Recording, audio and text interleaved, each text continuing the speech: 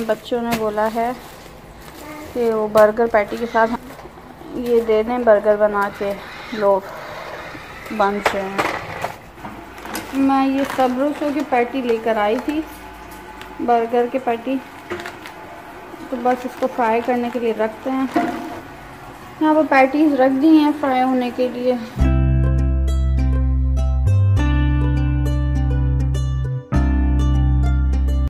अच्छा जी, यहाँ पर पैटी फ्राई हो गए हैं और मैं जो है ये सैंडविच बनाने के लिए यहाँ पर ही मैंने सॉस रेडी की है, जिसके अंदर केचप लिया है। अच्छा कोई क्वांटिटी की मेज़रमेंट नहीं है, जितना मर्ज़ी है आप डाल सकते हैं। केचप है मायनीज़ है चिली गार्लिक मैंने बहुत थोड़ा सा डाला है क्योंकि बच्चों ने भी खाना है इस वजह से। और मस्टर्ड सॉस ये बस इन सब चीज़ों को मैं मिक्स कर लूँगी। मिक्स करके इनके ऊपर स्प्रेड कर दूँगी। पैटी लगाऊँगी। यहाँ पर मेरे पास जो है वो सलाद पत्ता है।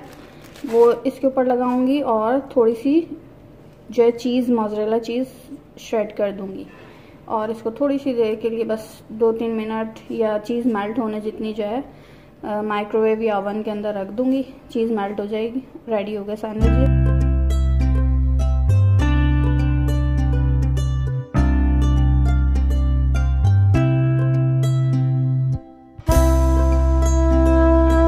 देखिए, मैंने यहाँ पर ये स्प्रेड कर दिया है। इसके बाद मैं यहाँ पर पत्ता लगा रही हूँ, ये सलाद पत्ता लगा रही हूँ। और सलाद पत्ता लगाने के बाद मैं यहाँ पर, ये देखिए, मैंने बाइट साइज़ में इसको कट कर लिया है। इससे सैंडविचेस कभी भी बाहर नहीं निकलते और बहुत ही मज़े के लगते हैं। एक एक बाइट बड़ा अच्छा मुँह में आता है जब पैटी का। एक एक बाइट तो बहुत ही मज़े का लगता है।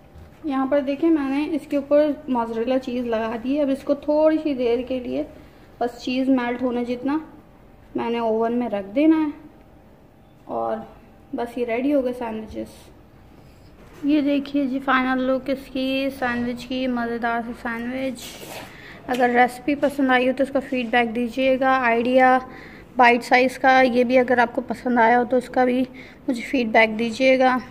मज़ेदार से सैंडविचेस ये देखें चीज़ के साथ।